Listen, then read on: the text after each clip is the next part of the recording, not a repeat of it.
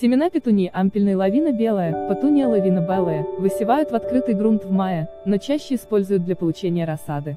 Компактные прямостоящие кустики пускают длинные ветви до 45 см. Побеги густо покрыты светло-зелеными аккуратными листочками, а в июне на них формируются крупные белые цветы. Диаметр распустившегося бутона до 10 см. Имеют воронкообразную форму, излучают приятный аромат. Растение любит много света, не требует частого полива, приспосабливается к любой почве.